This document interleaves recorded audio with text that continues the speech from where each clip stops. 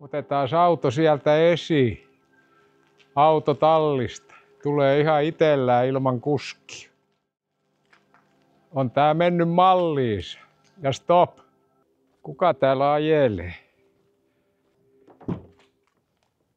Ei kukaan. Hyundai Ioniq 6. Mä oon ajanut tällä about 700 kilsaa ja tässä on ensituntumat ja lopputuntumat. Mä en aio enää tehdä toista klippiä tästä autosta. Niitä löytyy netistä tuhansia. Tästä autosta ollaan montaa mieltä lähinnä sen ulkonäön takia. Tämä on tämmöinen vanha limousiin-tyyppinen auto. Täällä on aivan käsittämättömän valtavat takatilat, polvitilaa mielettömästi. En rupea nyt esittelemään sitä sisältä. Mutta tämä on tehty täysin aerodynamiikan ehdoilla ja nimenomaan mä halusin semmoisen auton, millä mä en puske tuulta vastaan ja kuluta sähköä siihen. Eli mulle oli tämä toissijainen tämä ulkonäkö, kaipa tähän silmä tottuu. Kierretään nyt lopuksi vielä ympäri. Toi nyt oli tämmöistä pientä prassailua, että saan tällä avaimella tämän saa liikkumaan ahtaasta parkkipaikasta, mutta sillä saa myös sen parkkeeraamaan vaikka taskuparkkiin. Ja mä oon todennut, että hyvin toimii. Tässähän on kameroita joka suuntaan, myös kuva ylhäältä päin. Eli se ei päästä, päästä kyllä kolhimaan. Mutta se taskuparkkeeraus, niin kuin yleensäkin se automaattinen taskuparkkeeraus, se on hitaampi kuin kun sen itse tekee. Mutta nyt mä lähden liikenteeseen ja kerron sitten tästä vähän enemmän. Siellä on akkua 577 kilometriä, siis tämmöinen matka nyt tällä kelillä – mun ajotyylillä. Mä ajan nopeusrajoitusten mukaan, en hiljempaa enkä juuri kovempaa. Sillä pääsee yli 600 kilometriäkin, jos rupeaa ajelemaan hieman alinopeuksia, esimerkiksi 70 ja 60, äh, 80 rajoituksilla. Ja sitten moottoritiehän kuluttaa kaikkein eniten, mutta kulutus, keskikulutus katsotaan sekin sitten kohta. Ja kerrotaan siitä, että mistä en tykkää ja mistä tykkää. Mutta katsotaan nyt tätä vähän se nopeasti ympäri. Tämä on tosiaankin vähän niin kuin litistetty kupla. Ensiksi mä vähän vieroksuin tätä ulkonäköä, mutta nyt kun on saanut nauttia se äänettömyydestä, tuulen suhinato hyvin vähäiset. Tuossa rekisterikilven alla molemmilla puolilla noiden kaveroiden sivulla on tämmöiset luukut, jotka aukee. Ne jäähdyttää batteria ja täällä on sitten tuossa luukut, josta menee jarruille jäähdytysilmaa. Matriisivalot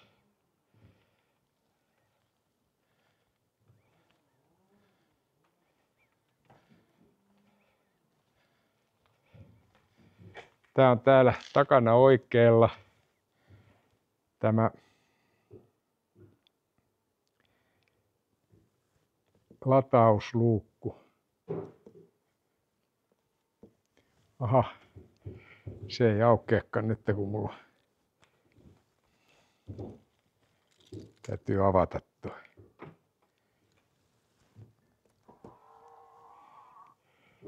Ja tämähän tukee pikalatausta. Tämä on yksi niitä ainoita automalleja jossain saksalaisissa.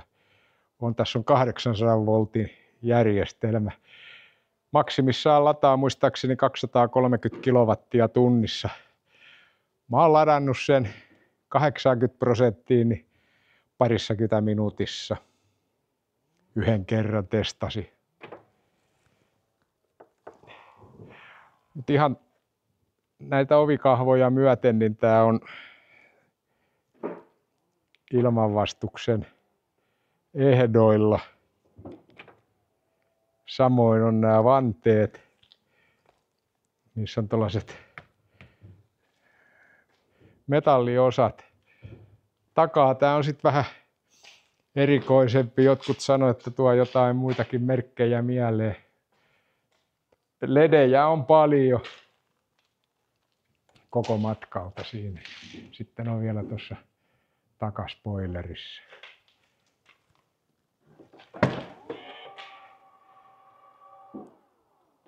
Takapaksi 400 litraa. Ei mikään suuren suuri, mutta meidän tarpeisiin ja mun tarpeisiin ihan riittävä. On melkein sanomattakin selvää ja näiden ensi satojen kilometrien jälkeen, että tulevaisuus on muiden ajoneuvojen kuin fossiilista energiaa käyttävien propulsioratkaisuiden, siis polttomoottoreiden, erilaisten niiden versioiden, diiseleiden ja muiden. Kyllä tämä niin paljon joustavampaa on ja nämä on niin paljon kehittyneet viime aikoina, että on päivän selvää, että esimerkiksi liikenteessä tullaan siirtymään pienen takaiskun jälkeen, mikä maailmassa on tällä hetkellä menossa näihin sähköautoihin. Sähköä tullaan myös tekemään tulevaisuudessa mitä ilmeisimmin polttokennoilla, vedyillä, joka sitten pyörittää sähkömoottoria. Mutta yhtä kaikki sähkömoottori. Kyllä tämä niin paljon joustavampaa ajamista on.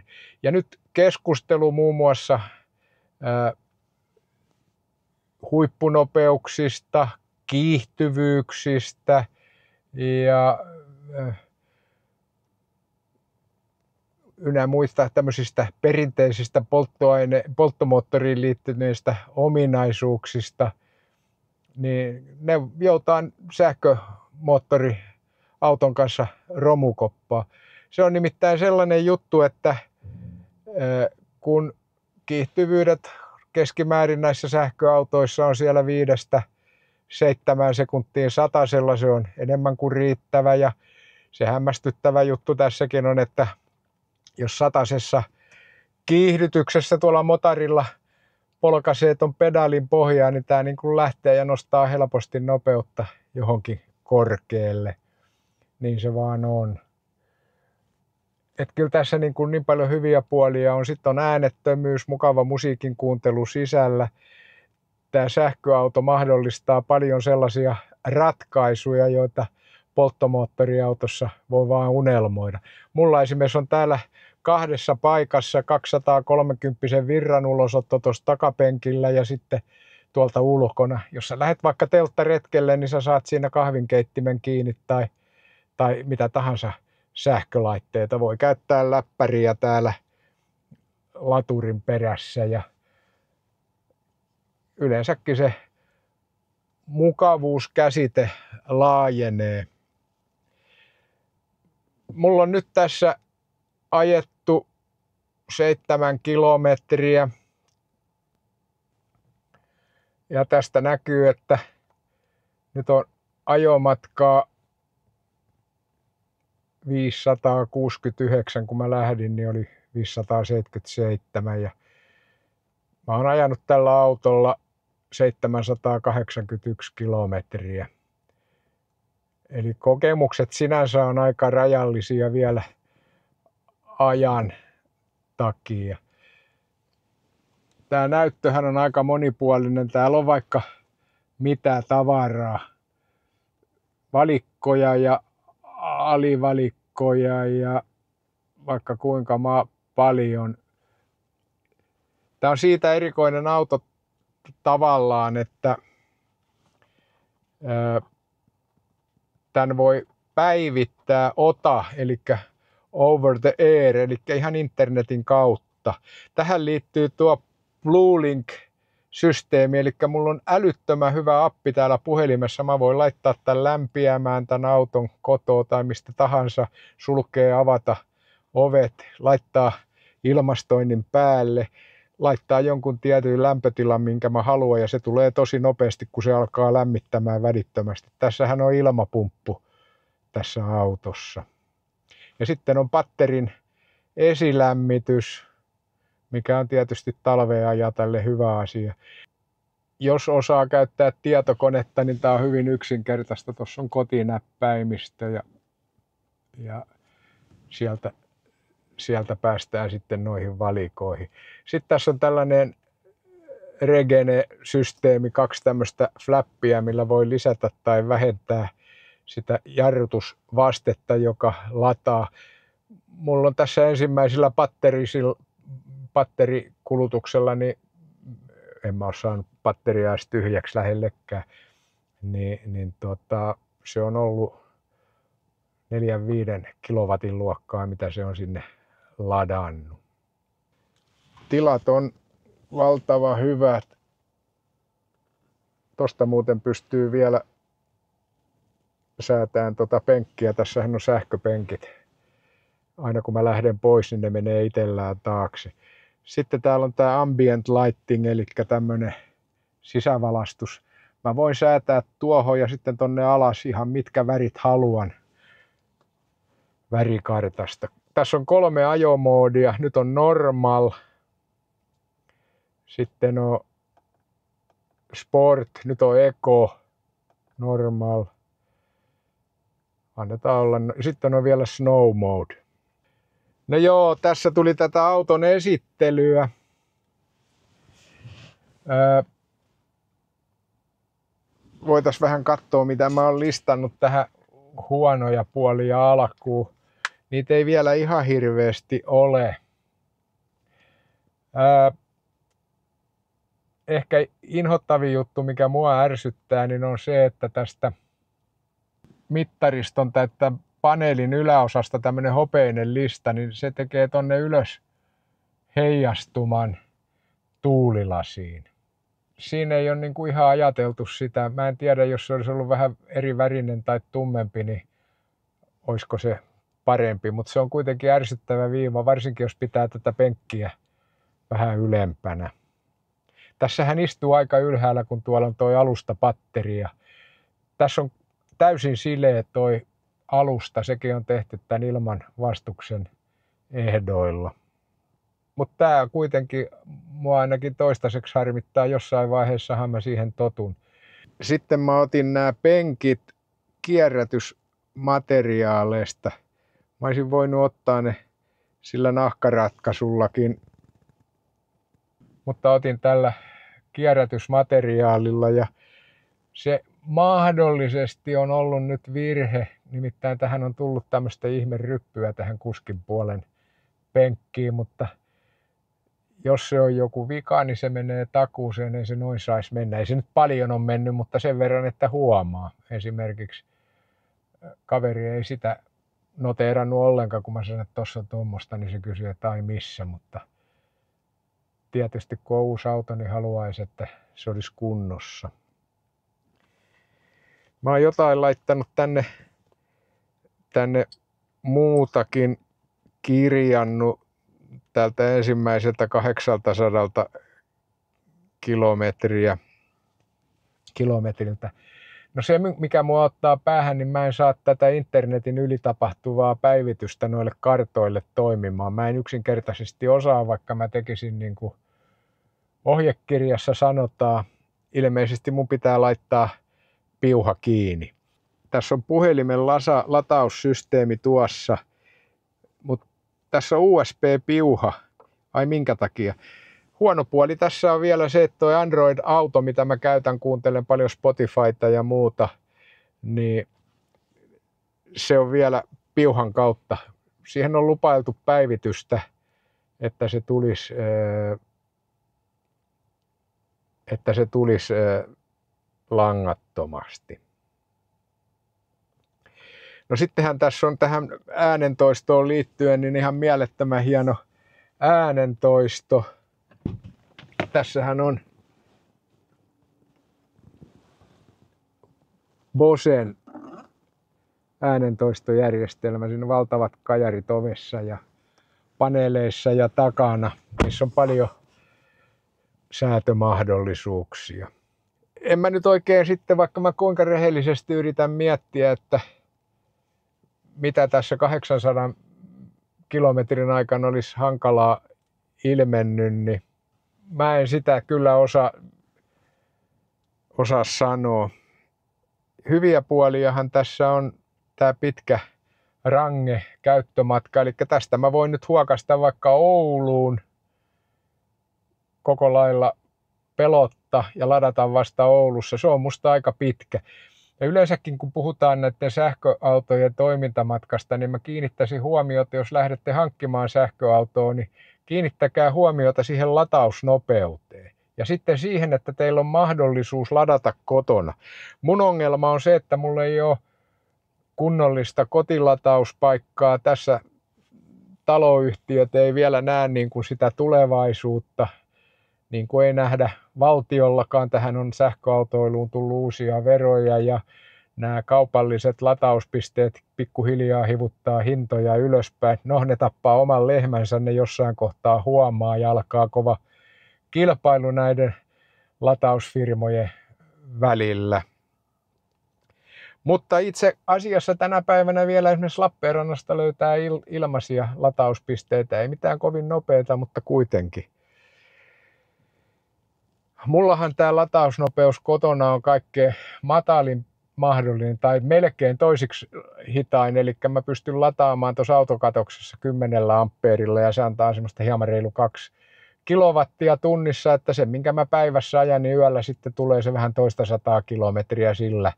Eli periaatteessa se riittää mun, mun ajamiseen, jos mä lataan yön aikana toista sataa kilometriä. Eli mulla on oikeastaan aina sanotaan niin kuin tankki täynnä. Niin kuin on nyttenkin. Hyvistä puolista, hyvistä puolista, jos jotain vielä mainitsis, niin mullehan tämä mahdollisesti on viimeinen auto – mä oon laskenut, että mä pidän tätä vähintään kolmesta neljään asti enemmänkin, mutta semmoisen neljä vuotta varmaan, jos ei mitään yllättävää tämän kanssa satu. Ja ö, tässä on aikamoinen opiskelu ja tämä vähän mun, mun elämäntilanteelle sähköauto sopii mitä parhaiten. Ja etenkin jos sillä pääsee esimerkiksi niin kuin yhdellä latauksella Ouluun, niin kyllä se on niin kuin enemmän kuin riittävästi tai kahdeksan kertaa Lappeenranta ja takaisin lataamatta. Eli kyllä se alkaa olla jo sillä tasolla, ettei siitä tarvitse murehtia. Mä oon tänään kysellyt sitten, kilpailuttanut, sen takia tämä videon tekokin viipyi näin kauan, mä oon kilpailuttanut näitä vakuutusyhtiöitä ja ne halvimmat kaskot, tuulilasi vakuutuksen kanssa on siellä 65 euroa kuukaudessa. Toiseksi paras oli 72 euroa ja siinä oli muutamia muita etuja. Mä pystyin mun muihin, pystyisin mun muihin vakuutuksiin vaikuttamaan ja näyttää todennäköiseltä, että mä tuun sen valitsemaan. Iso suomalainen yhtiö tässä autossa ei ole todellakaan mitenkään paha, paha se, jos se on siellä 800 euron paikkeilla vuodessa toi ö, vakuutusmaksu, kun se on ollut monissa sähköautosta pitkälle päälle ö, 1000 euroa, 1300 euroa. Katsotaan tästä, nähdään tämä listaus kertyneitä tietoja. Vähän sen mä oon ajanut tällä 781,4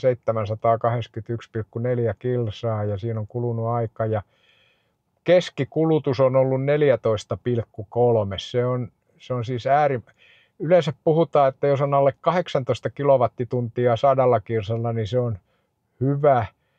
Niin mulla on alta 15 tässä ja pikkuajossa tässä kun mä käyn, niin mä pääsen 12 ja puoleen kilowattiin helposti tuommoinen kauppareissu.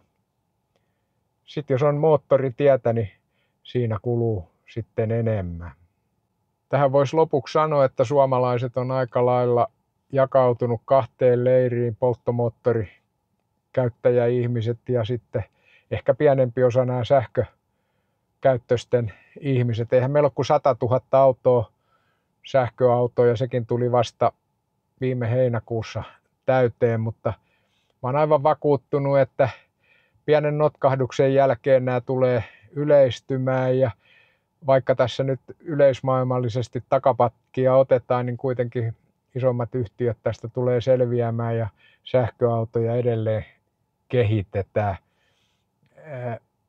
Nämä on jossain määrin kalliimpia, mutta nyt pikkuhiljaa esimerkiksi on syntymässä käytettyjen sähköautojen markkinat Suomeen. Ja sitä myötä niitä tulee liikenteeseen myös enemmän. Saksassa esimerkiksi vielä tämän vuoden ajan on tietynlaista hankintatukea, mitä Suomessa ei enää ole. Se on tavallaan valitettavaa, koska Suomi on lirissä näiden äh, hiilidioksidipäästöjen kanssa ja se tulee meille veronmaksajille kalliiksi, kun joudutaan ostamaan sitten miljarditolkulla näitä ää, päästöosuuksia lisää jostain, jos niitä nyt joku sitten myy. Että se on vähän niin kuin pään pensaaseen laittamista. Kuitenkin liikenne on iso osa näitä hiilidioksidipäästöjä. Mä en ole ihan sata varma siitä, mutta olisiko jopa lähes kolmannes päästöistä. Metsätalous on sitten iso nielu ja päästäjä ja teollisuus.